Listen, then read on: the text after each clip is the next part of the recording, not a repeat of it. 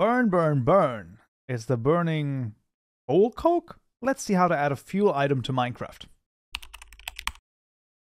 Alright, we find ourselves back in IntelliJ once more, and in this tutorial we're going to be adding a custom fuel item to Minecraft.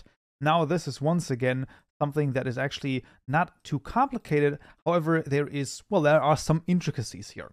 So usually you would think, well, maybe we can just add another item and we would be done with it. Well, sadly, we actually need to make a custom item class for this.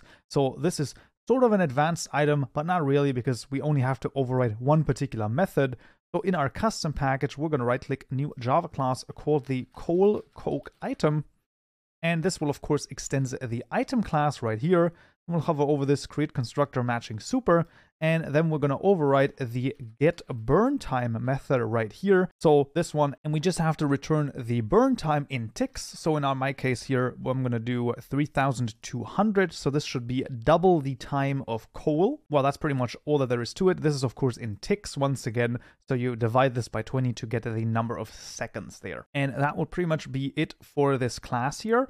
So you would have to do this every time you want a new fuel item. There is another way that you can do this with an anonymous class, so we're just going to take a look at this. I'm just going to copy over the cucumber and we're going to make the coal coke.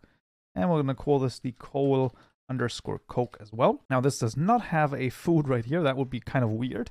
And what we can do is, in theory, we can also make an anonymous class like this. So you can see if I add the curly brackets here, we're going to make an anonymous class out of this. And then inside of here, I can also override the get burn time and return 3200. It's just, you know, a little unwieldy, and if you have a lot of them, can sometimes be a little bit too much. But you can go either way, either making an anonymous class like this, or you can also just make a full coke item here, so a custom item class.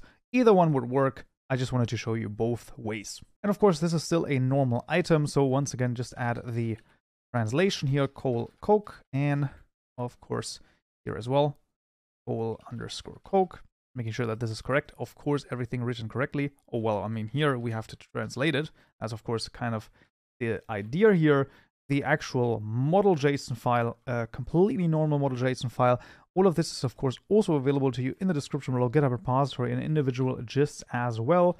But none of this is out of the norm. So all of this should work fairly easily and should be nothing new really. But those are all of the things that we need to add. So let's see if it works. Alright, we found ourselves back in Minecraft. As you can see, the coal coke has been added to the game. Now let's see if I can put it in here. And of course I can. And it's going to, well, burn through double the time, burn time of coal. So we're going to have a long time here.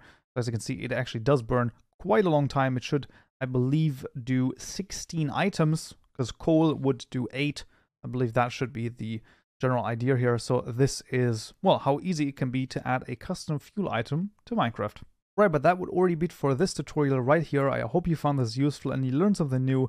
If you did, I would very much appreciate a like. And don't forget to subscribe for more tutorials, just like this one. So, yeah.